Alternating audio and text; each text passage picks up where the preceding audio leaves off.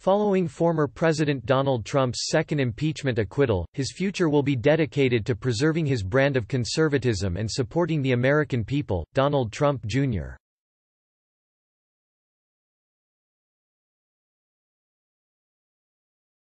told Fox News Hannity on Monday, Trump is going to keep pushing that America First agenda, fighting for the American worker, said the former president's eldest son.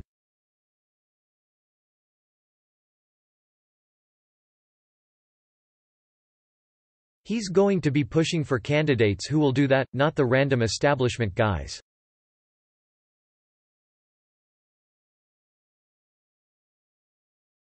And we're going to continue doing to conservatism what my father has done, which is bring it from the dead back into real life with people who love this country and who are willing to go to bat for her.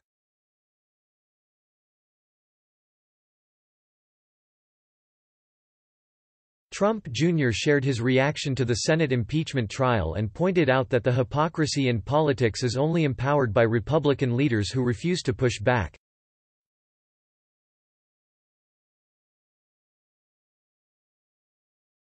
Republican leadership will do nothing. Because that's what they do best. Nothing, he said.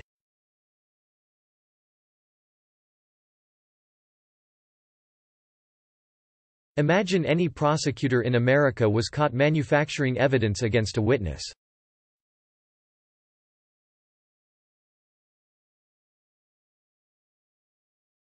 That would be a jail-able offense. Democrats are used to being able to get away with it and, more importantly, they're used to Republicans who don't have the guts to actually ever push back.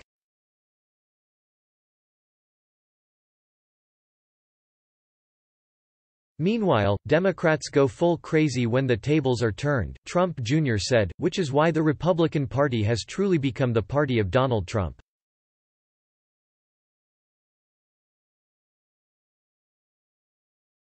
He's taught conservatives and Republicans that they don't need to be steamrolled, that they can push back, he said.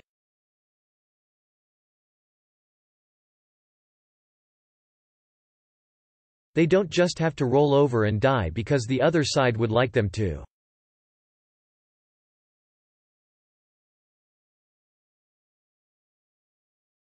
That's the difference between Donald Trump and Republican leadership for the last few decades which has done nothing but cede ground to the radical left.